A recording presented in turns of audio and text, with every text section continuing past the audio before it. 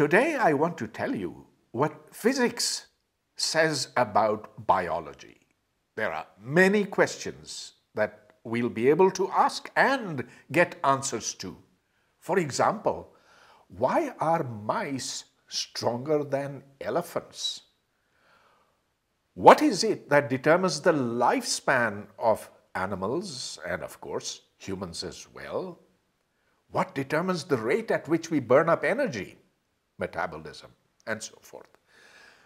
Well, physics and biology seem to be two totally different subjects. So when we studied these in school, physics was about balls and springs and levers and flow of fluids, electrons, atoms, molecules, etc. All inanimate things. And yes, they were simple, and so therefore you could get formulae from them, and those formulae had a lot of power to them. So if you understand how a certain formula is derived, you can then apply it. And so, for example, at this very moment, there are five spacecraft circling Mars.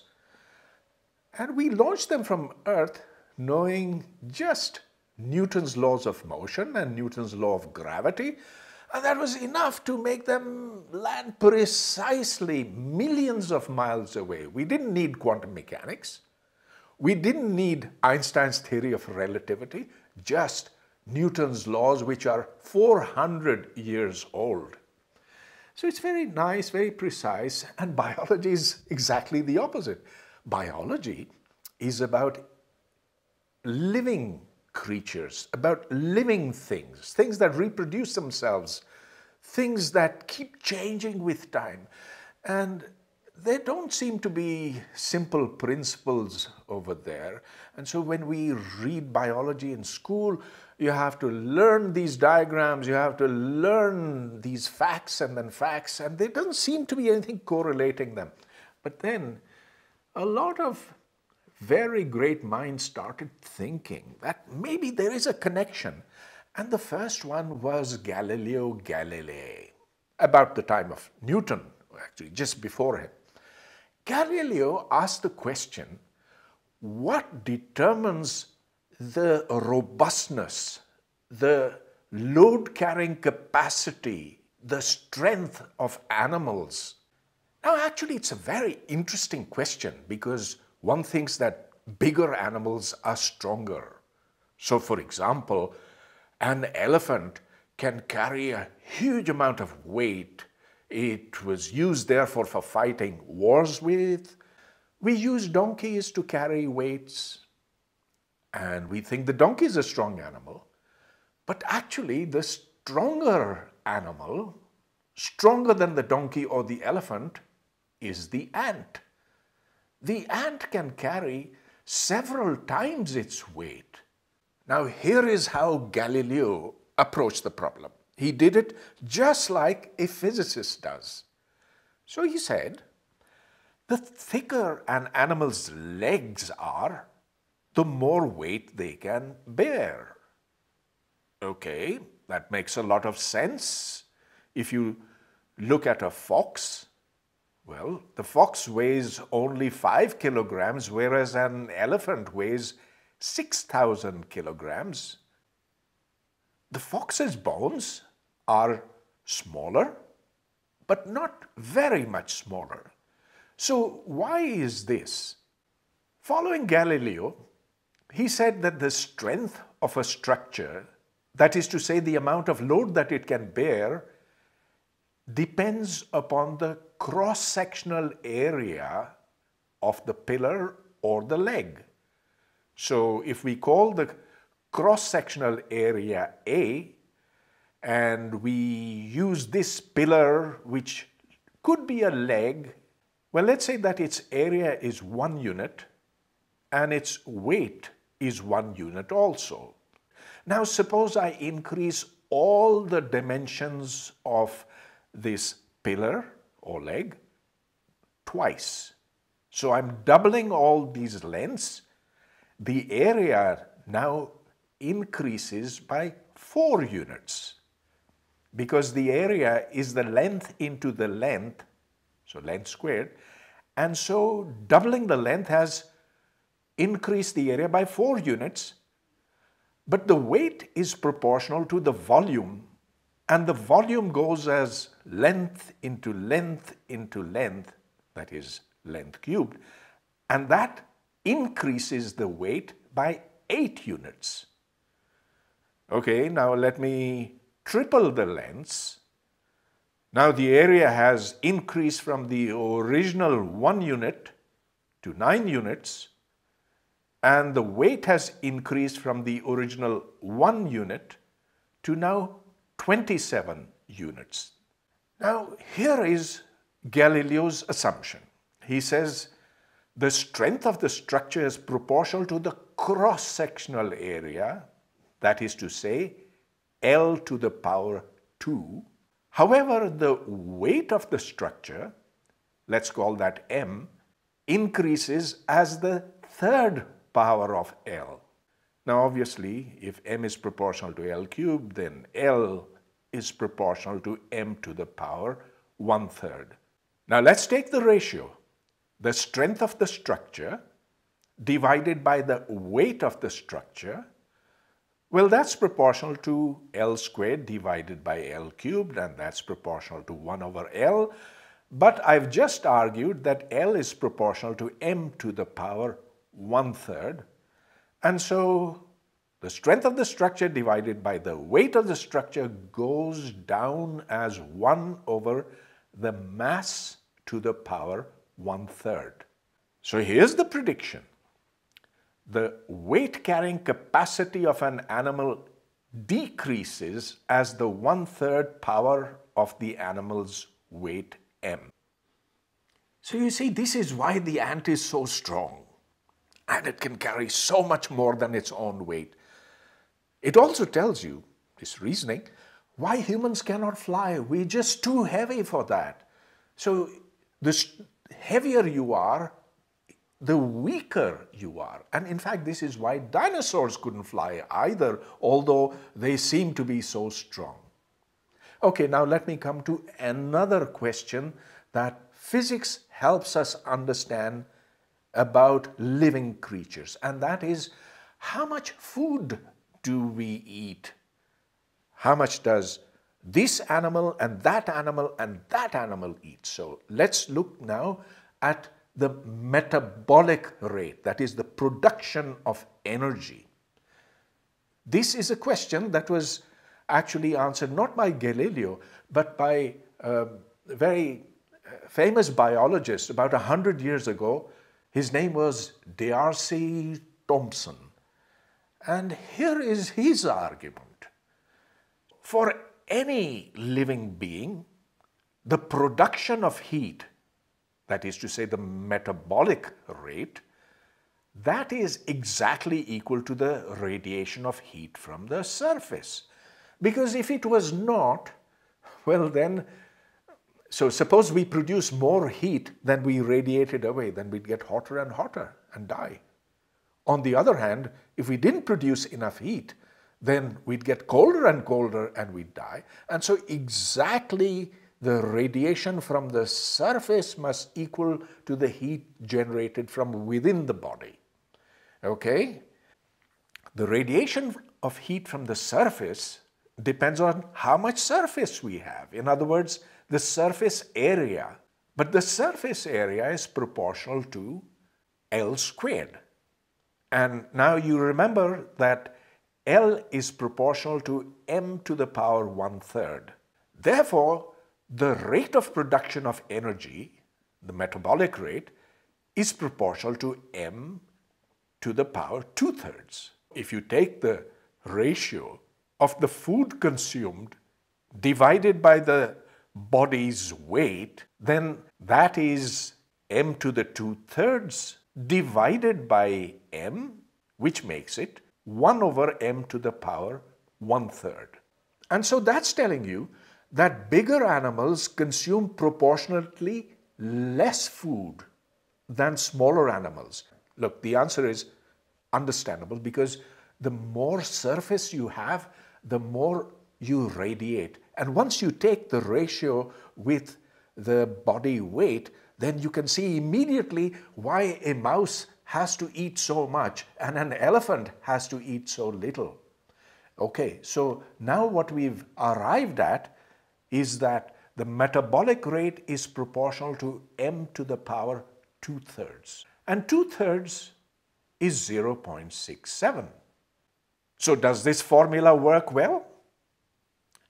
It's not bad, but a better formula is that the metabolic rate is proportional to m to the power 3 fourths. And 3 fourths is 0.75. Now let's see how well this works. On this graph, there are a whole variety of mammals, all the way from mouse and small birds to goats and horses and elephants, and of course, somewhere in between are humans as well.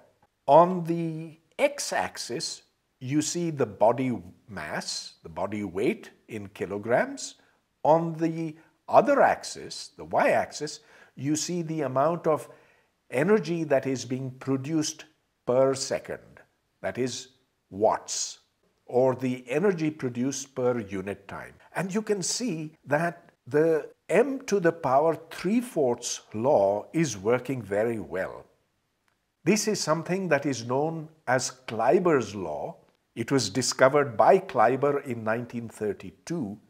Now you could write the metabolic rate, that is the rate of production of energy, as m to the power d. Earlier on, I argued that d had to be two-thirds, and that came from the argument that uh, the heat radiated was proportional to the area. But uh, d equals two-thirds mm, doesn't work as well as d equal to three-fourths, Kleiber's law. Why? People really didn't understand until quite recently, 1996 and after that, and much of this work was done by a physicist whose name is Geoffrey West, now, Geoffrey West used a certain kind of mathematics. It's called fractal mathematics, and it's very interesting. It's a new field of mathematics, and it tells you how certain mathematical structures replicate themselves. You can show that from a certain pattern, you will develop identical patterns, and those patterns are space filling. They will fill the whole space. But you can also understand how blood can flow in the body. So, imagine blood flowing through the aorta, a major blood vessel. Well, that blood has to be delivered to the cells in the body, and so it happens through branches, which then make branches, which then make branches, and so in a sense, what you have over here in the body is a fractal structure.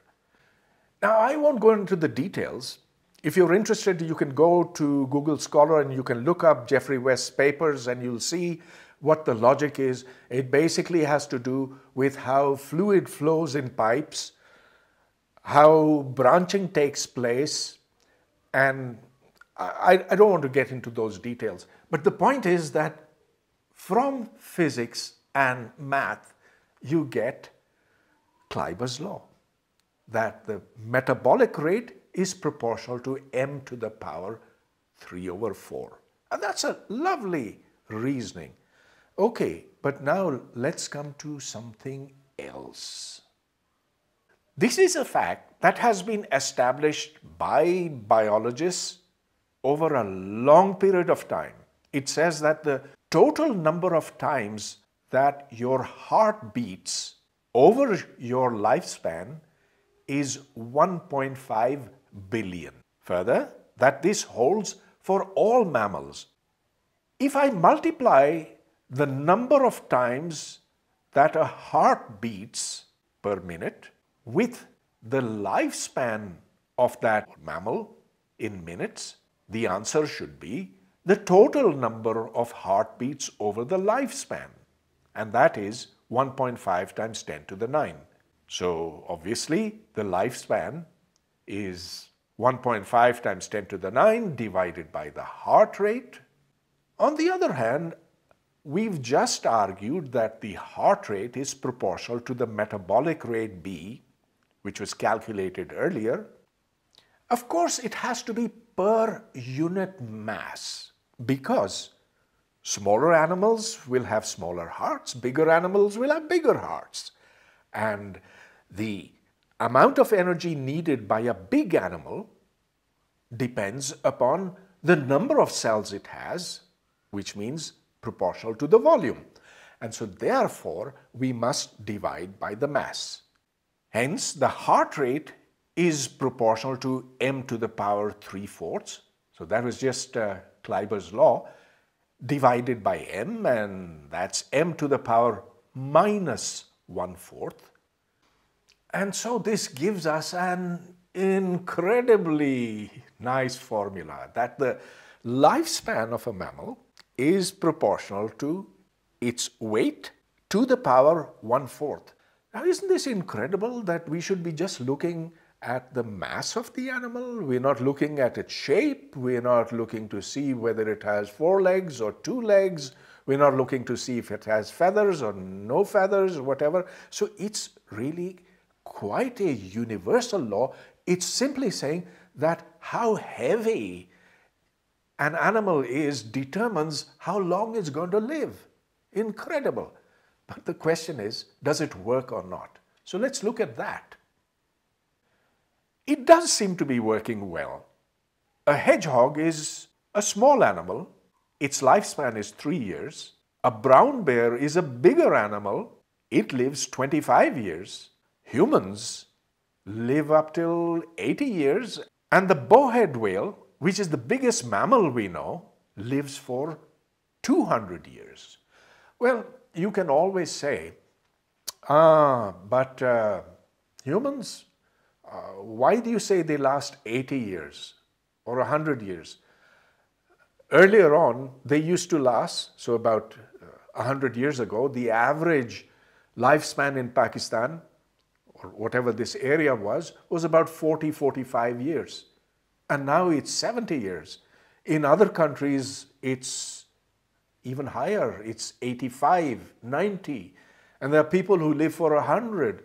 So obviously, the question of how long humans live doesn't just uh, depend upon biology, it also depends upon other things like, uh, like hygiene, availability of medicines, whether you can get a COVID shot, it'll depend on that as well, etc. Let's look at this in more detail. Here's a graph which shows this even more systematically. So on the x-axis, there's the life expectancy in years. You can see where the whale is, the horse is, giraffes, cats, mice, etc. And you can see, again, that the greater the heart rate, the smaller the lifespan. I think these results are really interesting because with rather simple ideas of physics, one has been able to understand some pretty fundamental issues in biology. And there are lots of others that can be similarly understood. So the point is that with the application of the laws of physics, you can understand many things in biology. But of course, uh, the problem is that human systems, living systems in general, are exceedingly complex. And so even if we know the laws of physics, to be able to apply them and to be able to sufficiently simplify is really the challenge. In time, this will happen. However, I must admit, I think all physicists absolutely agree on this, that we do not as yet have anything equivalent to the Newton's laws of biology. There is no way that we're going to get the simplicity of Newton's laws of motion and gravity that will help us understand everything. But piece by piece, we can get there.